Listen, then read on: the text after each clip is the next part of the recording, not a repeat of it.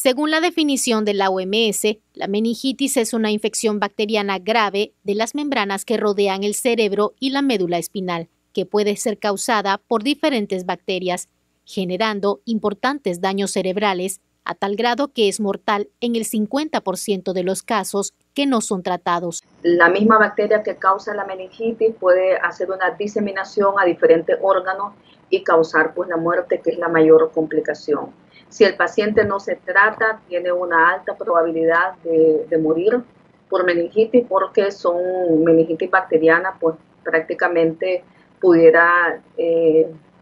hacer abscesos cerebrales, eh, o sea que son bolsas de pus dentro del cerebro y la infección se va diseminando de las meninges, que son las capas que recubre el cerebro y la médula espinal, se va diseminando hacia la parte interna y llegan a tener esas bolas de pus que son abscesos. Si bien la meningitis puede presentarse a cualquier edad, los pacientes menores de 5 años de edad y los jóvenes entre 15 y 24 años son los grupos donde con mayor frecuencia se dan estos casos. Hasta 2018, las muertes por meningitis en Nicaragua sumaron 92, con una tasa de mortalidad de 1,54 por cada 100.000 habitantes, según datos del MINSA, una tasa que ha logrado mantenerse baja gracias a la aplicación de vacunas como la pentavalente y hexavalente, que ayudan a prevenir la influenza tipo B y el neumococo, que son causa de infección de meningitis. Una del meningococo en algún momento va a estar presente